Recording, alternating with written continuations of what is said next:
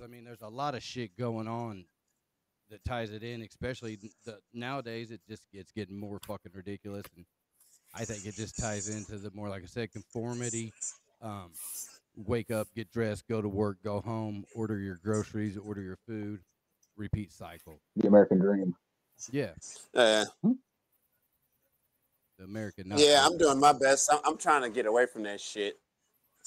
I have I, I, I have a dream of uh retiring in two years when I'm 45.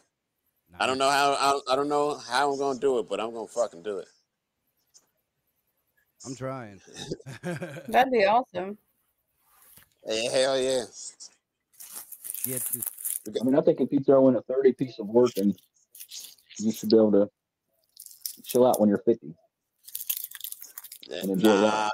yeah, yeah, but 50, that's that's a little too long. I think I got about two more years of, of good strong labor left in me, and then it's over with. Either my body gonna give it up, give up, or the part of me that goes to work and does the shit that a husband and father supposed to do.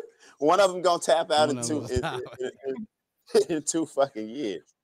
yeah, I, I Yeah. think I would have worked till I couldn't work no more, but I'm starting. Body parts are starting to fall off, so it's time to figure something out. I'm a. I gotta figure. I, I, I just have a high tolerance for pain.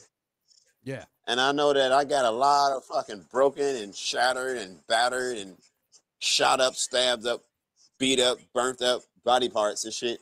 And I know when I'm like fucking 80, that's when I'm going to I'm going to feel that shit. You know, my pain Yeah. tolerance got to it's got to go at some point.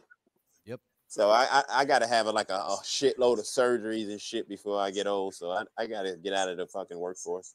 I think it's you're I'm a kind of glutton built for like all of us. So Your mind's gonna let go before your body lets go, and that's what's gonna make your body let go. I don't know if my mind will ever let go of shit because I'm I'm I'm too much of a piece of shit, and I, you know